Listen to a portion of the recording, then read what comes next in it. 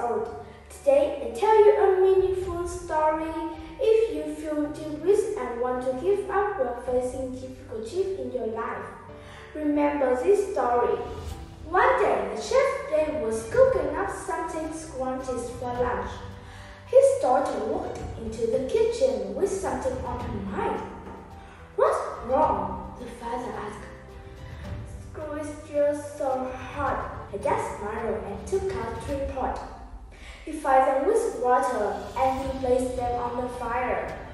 Once the three pots began to boil, he placed potato into the one pot, eggs into the second pot, and he poured coffee into the third pot. Dad, what are you doing? Patience whispered. After 20 minutes, he took potato out of pot and he placed them on a plate. He did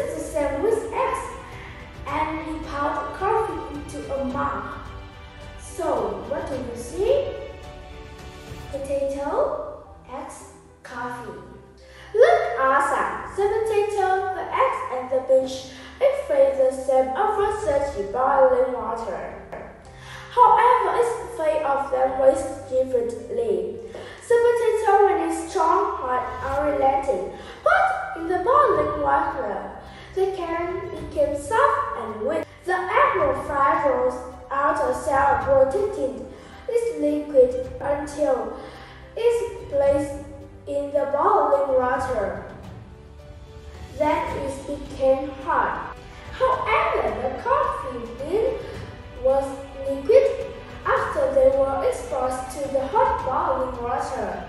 The trend is and secret something new.